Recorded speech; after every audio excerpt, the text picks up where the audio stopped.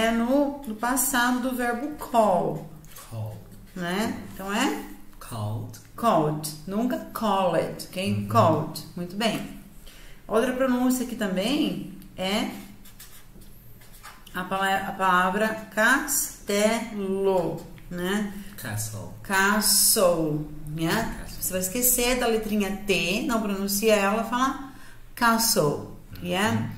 Dolphins and whales, very good. Uhum.